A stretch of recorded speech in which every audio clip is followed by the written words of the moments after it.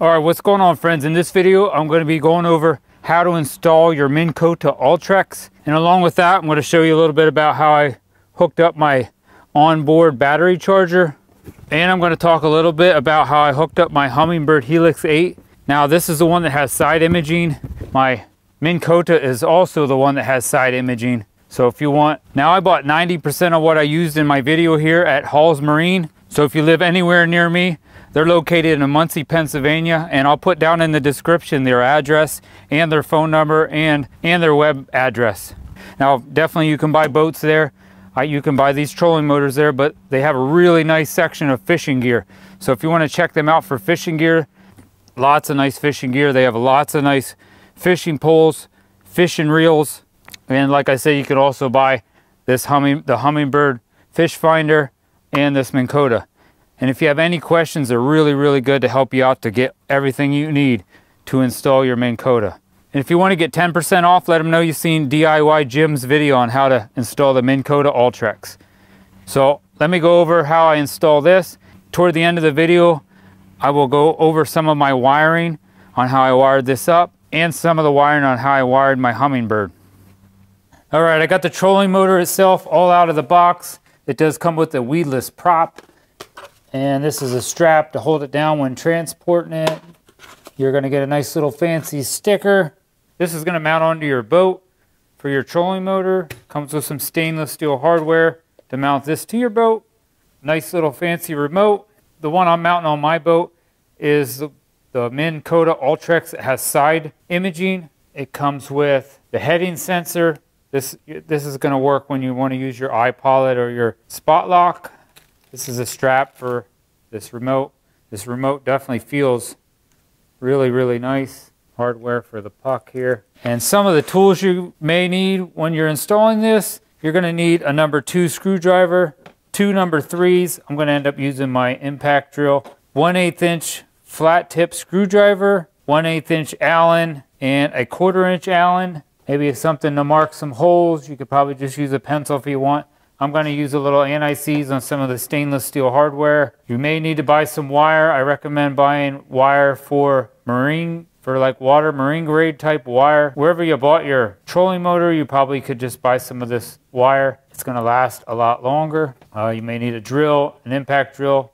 You're definitely going to need a drill. I'm going to end up using an impact drill. A 7 16th inch wrench. This is the stabilizer bar. When we cut this, you're going to need maybe like a a file or a piece of sandpaper to file down the rough edges and a hacksaw to cut that. Uh, you may need an extra hand, so if you have a little buddy that you fish with, hopefully he's old enough that he can maybe help you out. All right, now I have the entire mount sitting on the front of my boat, and we got to take this quarter inch Allen here in the front off because we're going to have to mount the trolling motor on here and then open this up just to see how it sits on my boat or your boat because you don't want this sitting wrong. And I actually have some holes here in my boat, so I'm hoping these holes that are in my boat line up. Save this bag that is on the end. We're going to end up using this later. That's going to help with your assist. You have a gas spring, assist spring in here that's going to help open and close this so it's not so heavy. That's what this pin right here is for. I'll save this Allen and I'm going to put my trolling motor up there and I got my boy up here to help me hold this on the boat. It should slide right down over these little, there's like a little piece here and one over there. If you look in the inside here, you'll see down here at this bottom, that's going to hook in this bottom one. And this top one will slide in right here. I got my buddy helping me. Just like that. Now I got to put that, put this uh, Allen bolt back in here.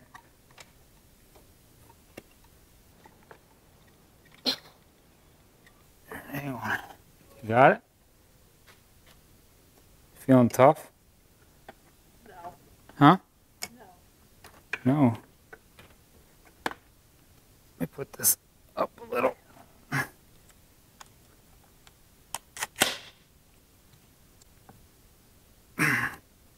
that out of my way. What do you control it from? How fast is this thing go? 100 miles an hour. Oh yeah. I don't know, man. Not as fast as the engine. That makes sense, wouldn't it? Yeah. Now, if you want to use your torque wrench, this is 18 to 20 foot-pounds. I don't have a torque wrench that's going to fit this Allen, so 18 to 20 is not really, really tight. I mean, but I mean, just make sure it's tight, but you don't got to get crazy. Okay, that's on. Now we need to open this up and lay it down somehow. I think you pull this. You got to pull this, lift up, but there we go, like that. Grab that motor. Oops. Here. Hang on. Let me let it go back down. Okay, there. Okay. Ready? Grab it. Just grab the motor. Keep going.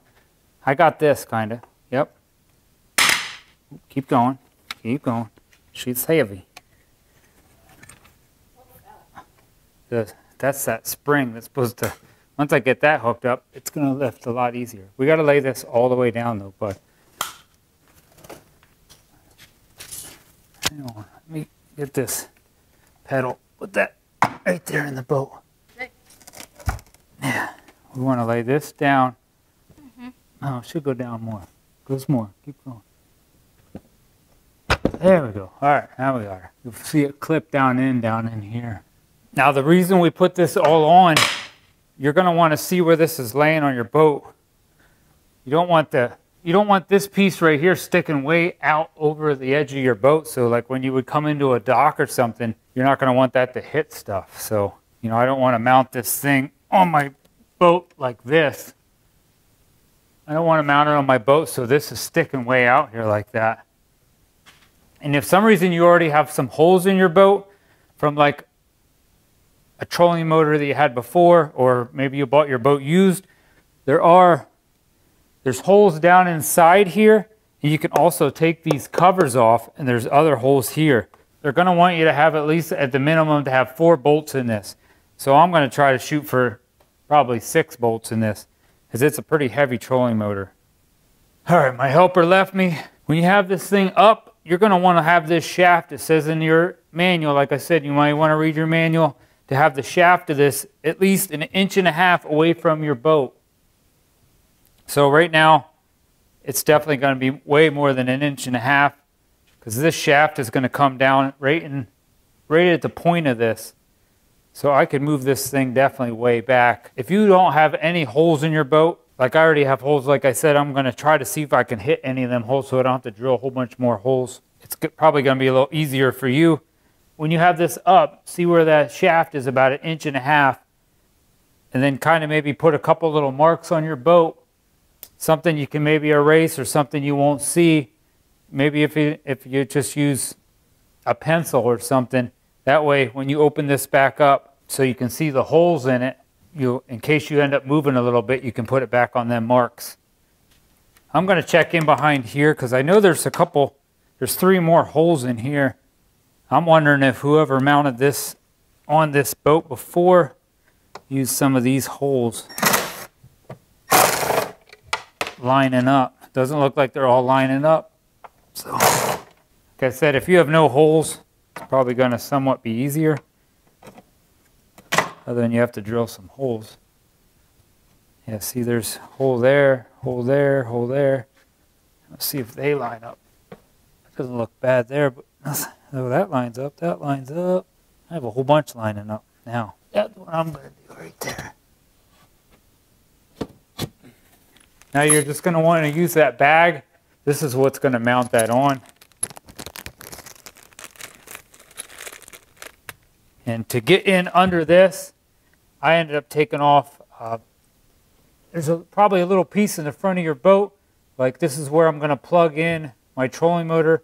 That's another piece I did have to buy separately to buy it because every boat has different plugs. So you may have to buy a plug, whatever, that matches your boat.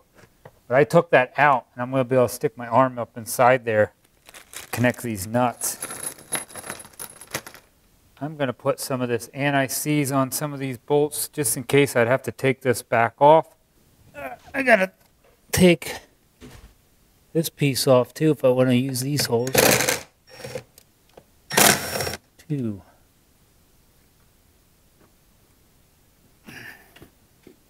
This is way easier with help. Trust me. My helpers are out playing soccer. There we go. Want this piece out. Yeah, like that.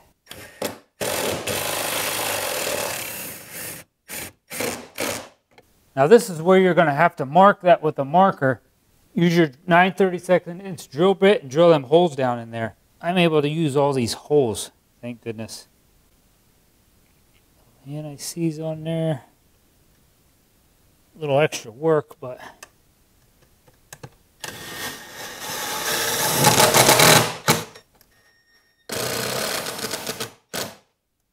All right, with a little bit of persuasion, I was able to use all six holes that were already in my boat. So I think it kind of would be maybe even easier if you just didn't have no holes and you made your own holes. But I didn't want to have to drill new holes, so I ended up having to take a little, take this kind of apart. Looks like I took this piece off so I could utilize that hole right there.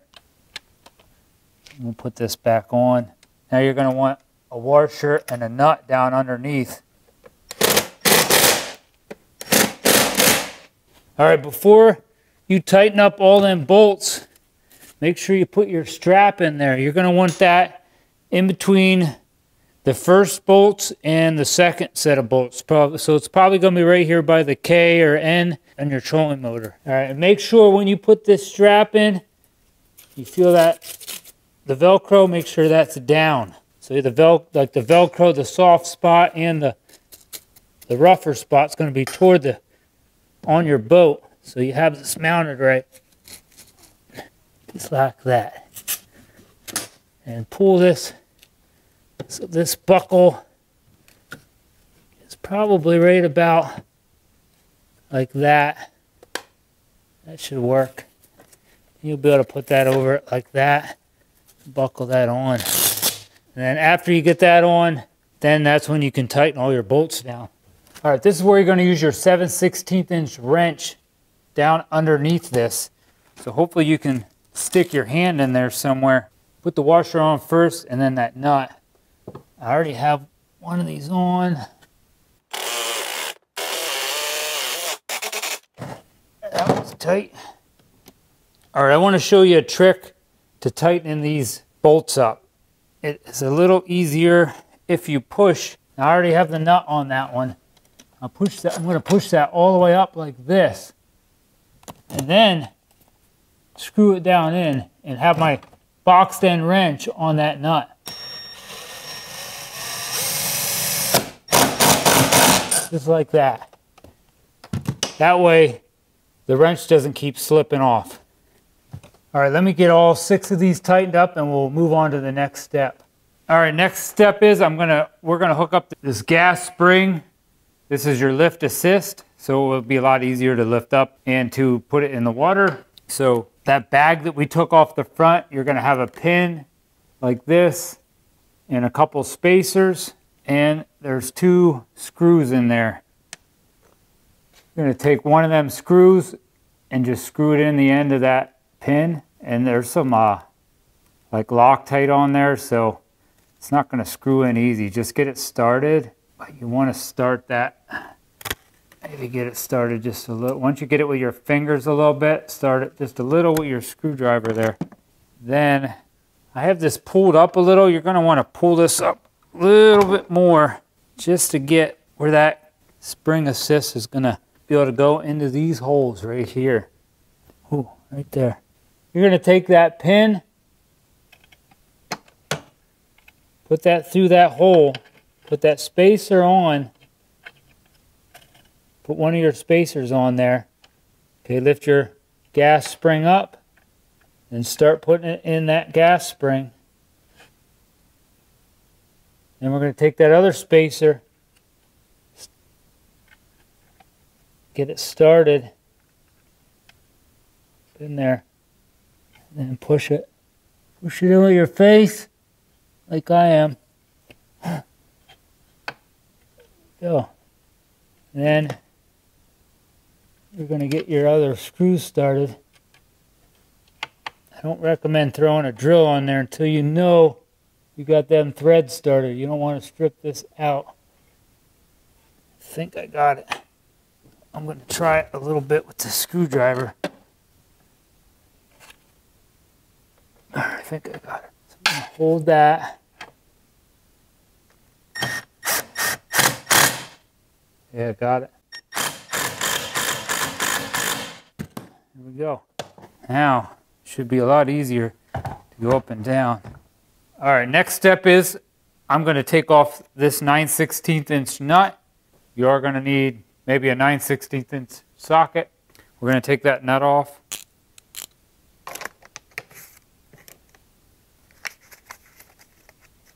You're going to use that nut, so keep that. You're not going to need this little red washer. Get rid of that. You, you will need this washer. All right, before you take this plastic piece off, put your hand under that. Put your hand under there. Because there's going to be a pin. You don't want to lose this little pin. It Goes in that little hole right there. It, if the shaft is like that, it's going to fall right out. So be careful. Now your prop is going to have a little spot in here where that pin's going to go. So you put that pin back in. Let's turn that just a little bit so that pin will stay there. And put that on. You got to line that up. There you go. You'll feel when it's lined up. Put the washer on and the nut. Make sure when you put these nuts on too that there's you can see inside there there's some white. It's like that's the locking part of that nut. So that is gonna you're gonna that is gonna be facing you. You don't want to put them on backwards. Mean, I, they probably would work, but that's not how you put them. And then use your 9 16ths, tighten it up. And it should just, you'll feel it bottom out. Right there, it's bottomed out. Tighten it up a little more.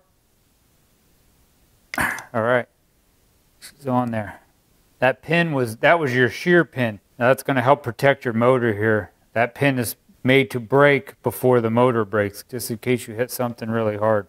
All right, next step is going to be putting the stabilizer arm on. Now, this there's two bolts right up here. You can take this nut off. We're not going to need these nuts. Just set them aside, take the other one off. Now be careful, there's some lock washers on there. Take them washers off. We will use them. And then we got these two Allen screws we will use them. Set them aside. Now I'm going to show you on this trolling motor. Here you can take this piece off also. Well, first you have to take this top, take that little rubber cap off. We're going to use that also. Don't lose that. And just screw this off like that. Now this piece right here is going to get mounted either on this side like that or you can put this on the other side, depending on how your boat is. If you can get that stabilizer arm to hit on the side of your boat and you want it to hit there, mount it on this side.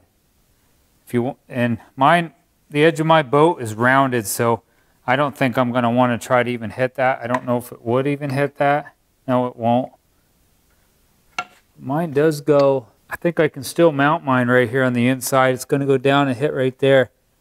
I think whoever had this boat before me had the same exact trolling motor because you can see an indent right here in my carpet. I'm going to mount mine there. And like I said, you could mount that on the other side if you want. All right, I'm going to still put a little anti-seize on these. Try not, I should have told you in the beginning, try not to get this all of your fingers because it's like a mess. Not getting too much on there. Make sure you don't forget that little lock nut. Should have put that on there first. Mount this right in here. And that your quarter inch Allen's going to work to tighten that up. Put your lock washer on, little that anti-seize, tighten that up. You should be able to get that in by hand almost all the way. Then you have to use your Allen wrench. Tighten it up like that.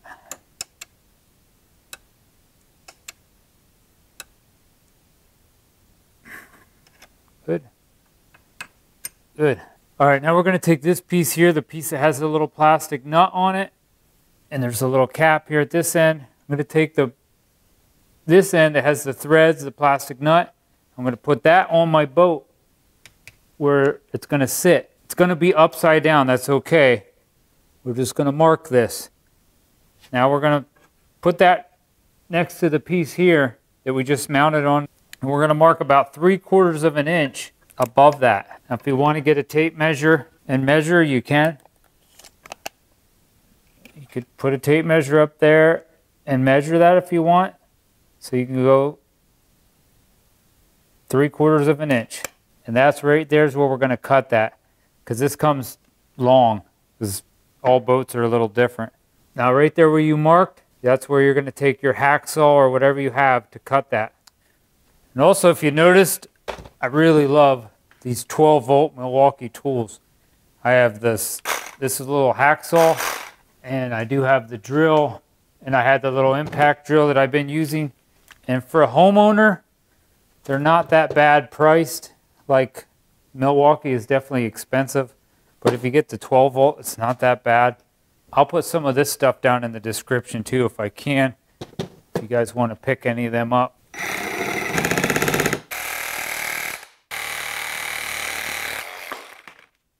All right, now this is where you're going to want to take that file or sandpaper and just file down some of these rough edges. All right, I cheated. I used my bench, my bench grinder. So if you have that, that'll work. Take that little cap off. You're going to put that back on the part you just cut, just like that. Pick your trolling motor up a little, thread that in there.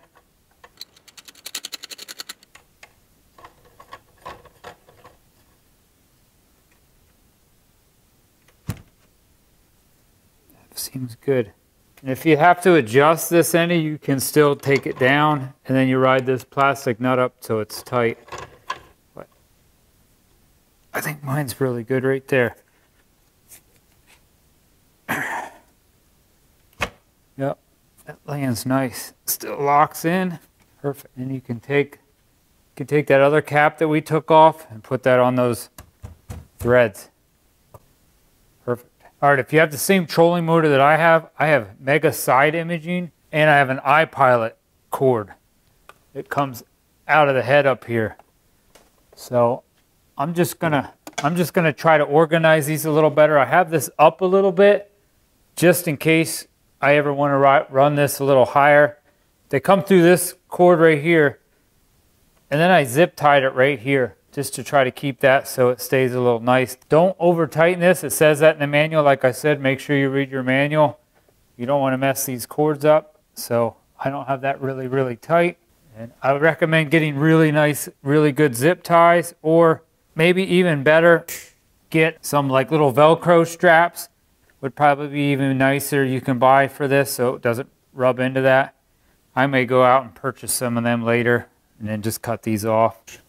I'm going to estimate where I would normally keep this foot pedal. I'm thinking maybe right about there.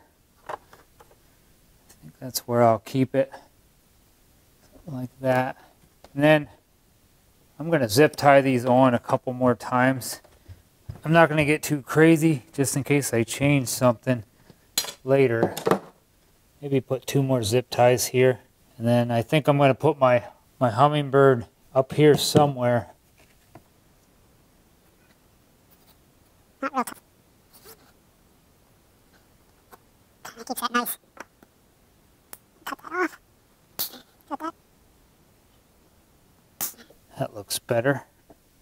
All right, really looks like all I have left other than hooking up my Hummingbird fish finder. I got the heading sensor that I got to hook up. Now when you hook this up, there's a little arrow on here that has to point toward the front of your boat. And if you, I recommend definitely reading the your directions on this, read your installation manual. You can't have this too close to any really high powered wires or this could mess this up. Oh, and then this also goes to a 12 volt. So if you have like a 24 volt trolling motor, you cannot wire this right into your 24 volt batteries. So maybe up under your dash, you'll be able to wire this to, or you're gonna have to take this all the way back to where your 12 volt to where your 12 volt battery is back maybe by, near your engine or something. But that's just some tips on that. And then this is going to be your power here. This will get wired to, like my trolling motor is the 24 volt version, so I have two 12 volt batteries that I'm going to wire this up to. I'm going to end up cutting this hook a plug on that I bought. And I bought this plug here. Everything I bought here, a lot of the stuff I bought here, I bought at Halls. This plug is going to go into my plug right here that I already have on my boat. But like I said, all boats don't have the same exact plug, so you're to have to see what plug you need. But let me get the rest of this all hooked up, and I'll kind of try to show you here at the end how I have everything hooked up, like the battery and this heading sensor. All right, first off, some of these other videos I've seen online are putting the end of their Minn Kota off the edge of their boat a lot further than I did, but just to let you know that it does work right around two inches. I think some of the other ones are going out over the edge, maybe three or four inches, so that's totally fine. I went over only right around two because I already had a whole bunch of holes in my boat and I wanted to use them holes up. And when I got it in place, it works just fine. I just had it out in the water yesterday. All right, now I'm up in my boat and I'll show you. Now, I mounted my batteries up front of my boat because I have a 65 jet on here and I just kind of wanted to distribute the weight evenly in my boat so I didn't have all the weight in the back end. But these two batteries here are wired up for my trolling motor. Now I have a 24 volt trolling motor. If you have a 36 volt trolling motor, most likely you're gonna have three batteries.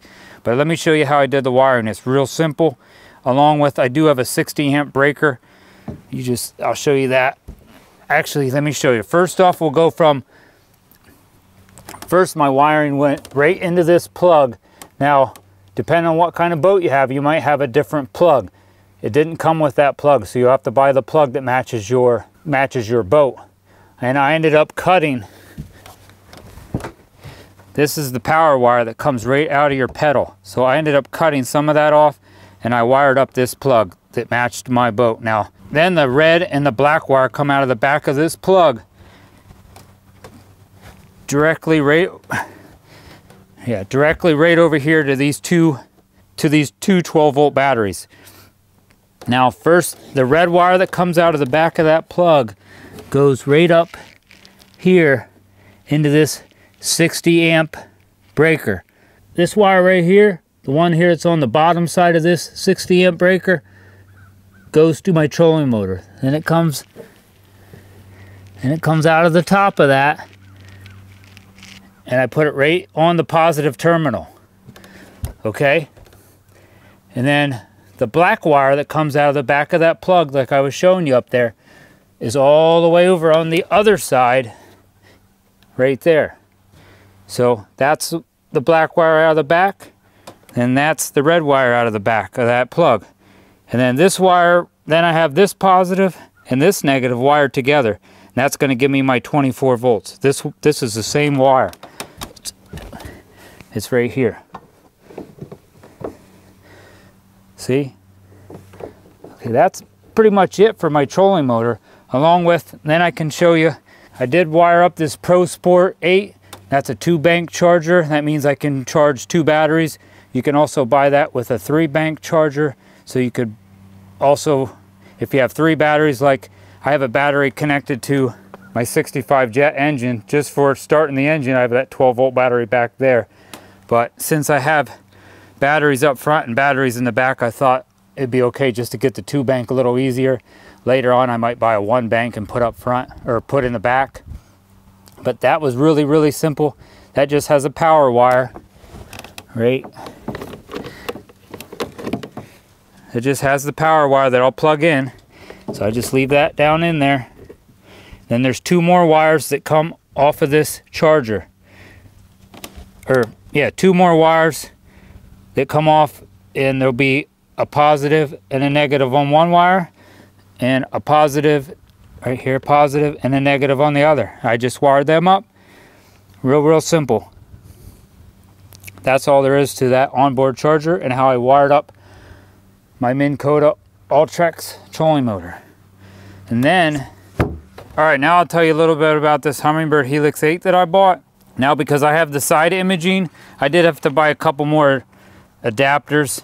I had to buy the ethernet dongle and I had to buy the built-in Mega imaging adapter cable. I had to buy these two separate ones, which is, um, yeah, which is this wire right here and this wire right here. That plugged into the back and then this wire and this wire came comes right out of the Minn Kota. I had bought those two separate adapters and they just plugged into my Humminbird and then it did have this wire right here is my power wire. You're going to want to power your Humminbird from separate batteries. You cannot power that from the same batteries that you have your trolling motor powered from. You're going to have to power that from, I have that back here in the back. It's being powered from my cranking battery. There's not really much to show you back here, but yeah, that's being what powered from this cranking battery. That, and I'll show you, if you got the Minn Kota with the spot lock on it, you're also going to have this little puck right here. That's going to run, um, run off the satellites and stuff. So when you push spot lock, it'll be able to keep you in place. And another thing, when you go mount this, that arrow is going to have to point to the front of your boat. Make sure you don't put that on crooked.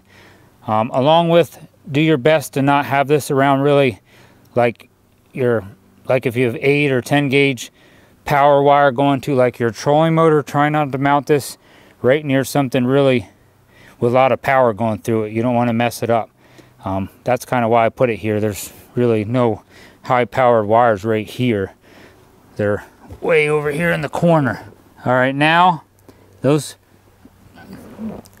the wires that are coming back here from the engine from that cranking battery, that battery is powering this and it's powering my Humminbird like I was saying. But it does go, I bought this fuse block right here. So I have the, the black and red wire coming from that cranking battery goes in there. Now, this little thin one right here, that goes to that little white puck. It's gonna run my spot lock. And then that other red, that other little red wire over there, that's going to the Humminbird. Along, then I have a 5 amp fuse for the Humminbird. and I really probably don't need that 5 amp fuse there. It probably could be like a 2 amp fuse, but I couldn't find my 2 amps, so I, I, I know where they're not, uh, I know where they're at now. I'm going to take that 5 amp out and put a 2 amp in there. But now if I buy another, do get another Humminbird or some type of fish finder, I can mount it right here or maybe mount it up here and I can easily just wire it under my dash right here. All right, thanks a lot for watching this video. I hope I gave you a couple tips to get your Minn Kota Ultrex mounted on your boat. I hope I helped you out a little bit with the wiring. Give this video a thumbs up, hit that subscribe button to help support my channel. God bless and happy fishing.